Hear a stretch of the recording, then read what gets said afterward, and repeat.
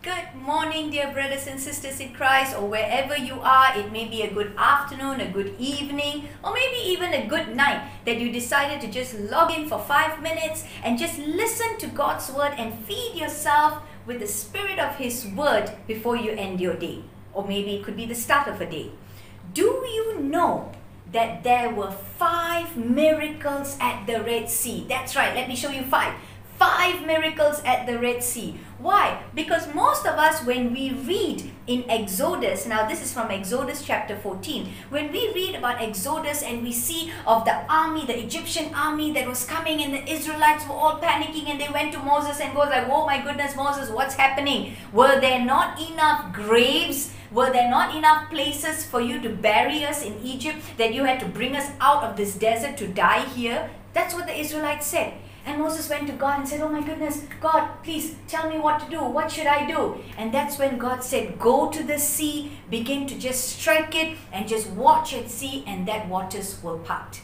Now, we all know that story. We've seen countless movies on it where the Red Sea just begins to part and there's a huge wall of water on the right, on the left, and this Israelite army is able to just walk through the entire sea, and then the sea closes and all the Egyptians die. We all know it well. I want to encourage you today, after you finish watching this video, go to Exodus chapter 14 and read the entire chapter. It's not very long. It's only about 30 over verses. Read the entire Exodus chapter 14 and you will see that there were five miracles that happened. And I'll quickly tell you what those five miracles were. The first miracle was God parted the sea. It has never ever happened for a billion years until today. No human being can ever do that. To part not a river, not a real drain, not a small little stream, but a huge sea to part it to the right and left. That was the first miracle. The second miracle, it says in Exodus 14 that when God parted the sea, it says the Israelites walked on dry ground.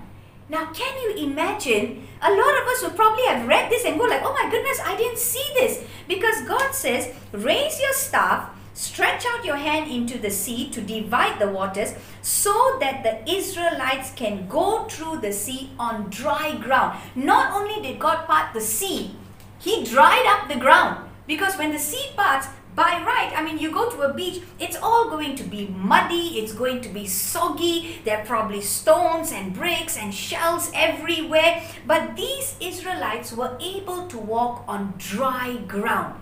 That's the second miracle that happened. What's the third? We know when the Israelites were in the desert, there was a pillar of cloud that followed them. And what happened as they were walking through that sea? It says the pillar of cloud was in front of the Israelites. Now imagine this, you're, I'm the Israelite, the pillar of cloud is in front of me leading the way and the Egyptians are coming behind. Third miracle that happened, the pillar of cloud moved and went behind the Israelites. When it went behind the Israelites, the pillar of cloud caused day to come for the Israelites and caused night to come for the Egyptians. Which means with that pillar of cloud there was like a division, there was light on one side and there was darkness on the other side. Because they were in darkness, they could not see anything and they could not chase those Israelites that were there. That is the third miracle that happened. The fourth miracle that happened Eventually, when the Egyptians now start to walk on that dry ground and think that, oh, since the Israelites can do it, we can do it too, read again in Exodus 14 and you will see as they were walking, the Bible says, God threw the Egyptians into confusion. That means suddenly they got into, oh my goodness, what's happening? No, no, no, we should do this, we should do that. And everybody started arguing with each other and there was chaos. Fourth miracle. What was the fifth miracle? These Egyptians that were chasing the Israelites and they were on their chariots, the word of God says, God caused the wheels to fall off those chariots. Five amazing miracles. I'll repeat that again. He parted the Red Sea. He caused them to walk on dry ground. The pillar of cloud caused day on one side and caused night on the other. It threw them into confusion, and the wheels of the chariot fell off. I want to encourage you today. The God who did that miracle in Exodus is the same God that is working in your life today.